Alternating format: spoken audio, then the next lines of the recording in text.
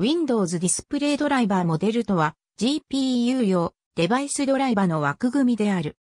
Windows Vista で最初に導入され、Direct 3D9X や Direct 3D10 以降の Direct 3D は WDDM に対応するよう設計されている。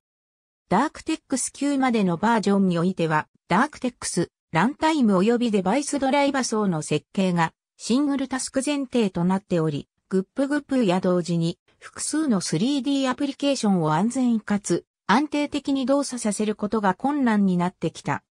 そのため、Windows Vista のリリースに伴い大幅に設計を変更し、マルチスレッドに対応させ安定度も向上させるべく、設計された新しいドライバーモデルが WDDM である。WDDM-DWM により、Windows Aero では OS のデスクトップの描画自体にビデオカードなどの GPU を活用したハードウェアアクセラレーションを使用することができ、結果として CPU の負荷を軽減することができるようになる。WDDM 発表後、従来のビデオカード用デバイスドライバーの枠組みを Windows 2000ディスプレイドライバーモデルあるいは Windows XP ディスプレイドライバーモデルと呼んで区別するようになった。Windows Vista 以降の OS でも引き続き XDDM、XPDM ドライバーを使用することは可能であるが、その場合、デスクトップウィンドウマネージャー、ひいては Windows Aero テーマが使用できない。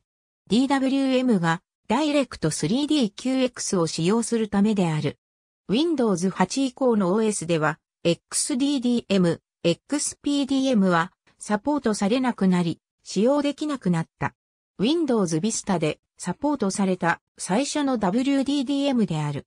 Windows 7以降の OS でも、引き続き WDDM1.0 のドライバを使用することは可能である。ただしその場合、WDDM1.1 以降で追加された機能は利用できない。Windows 7では、新バージョンの WDDM1.1 がサポートされた。テスト及びソースコード管理の複雑さを低減するため、WDDM1.1 ドライバーインターフェースには Windows Vista との広報互換性があり、WDDM1.0 しかサポートしていない Windows Vista で使用することも可能である。またその場合、単純に WDDM1.0 ドライバーとして動作する。2009年10月、Windows Vista に対して Windows Vista 用のプラットフォーム更新プログラムが配信された。このアップデートにより Windows Vista でも WDDM1.1 へとアップデートされた。DarkTex 診断ツールでも WDDM1.1 の表記が確認できるが、GUDI はソフトウェアレンダリングであるなど一部の動作に差異はある。Windows 8では WDDM1.2 がサポートされた。ビデオメモリのより効率的な利用、Direct 3D11.1 のサポートなどが追加されている。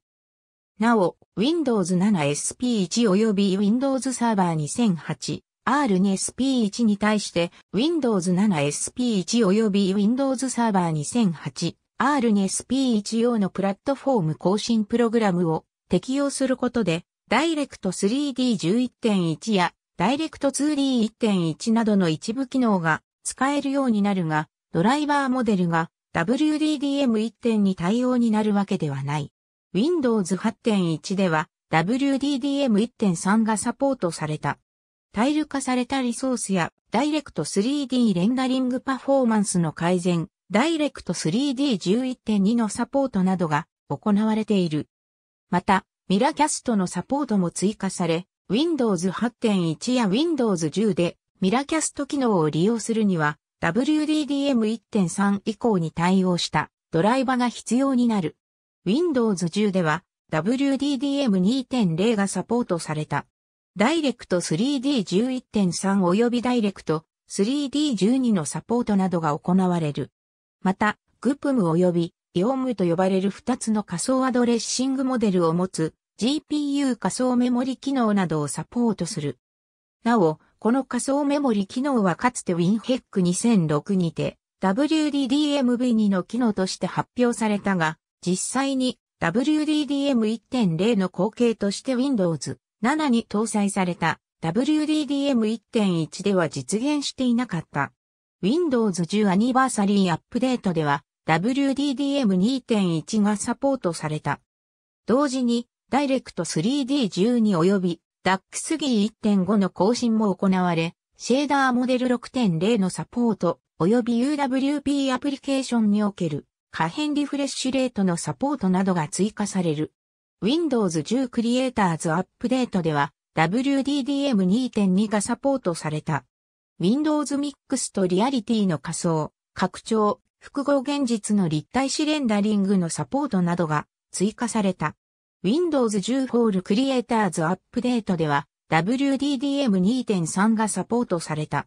Windows 10 April 2018アップデートでは WDDM2.4 がサポートされた。Windows 10 October 2018アップデートでは WDDM2.5 がサポートされた。Windows 10 Main 2019アップデートでは WDDM2.6 がサポートされた。Windows 10 Main 2020アップデートでは WDDM2.7 がサポートされた。DAX-G は DarkTex 10以降で利用可能になる新しいグラフィックス共通基盤及びその API 集合である。カーネルモードドライバーやハードウェアとの通信といった低レベルのタスクを担当する。DAX-G はアダプターやアウトプットといったデバイス概念を抽象化する。